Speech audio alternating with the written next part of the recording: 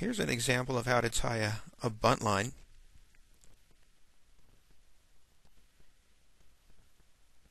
We brought the line around what we uh, planned to attach to and laid it over itself. Basically, you can see I'm working up a clove hitch here. That's what we're going to tie. Except the uh, the tail end is going to be on the inside of the hitch, and that's what makes this such a strong knot.